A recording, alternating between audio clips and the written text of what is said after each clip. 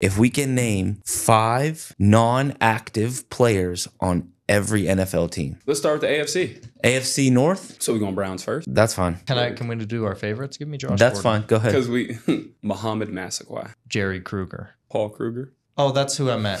That's what I said. Close enough. I got his last name. That's why I said it. I'm like it's Paul, There bro. go. Jordan Cameron, Then I'll go with the guy I liked watching for no reason, Andrew Hawkins. Andrew Hawkins. Damn, I thought he was gonna pick Gary Barnidge.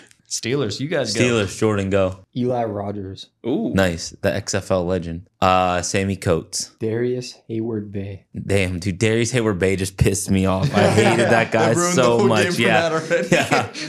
I Uh, didn't think of one more. Limas Sweed.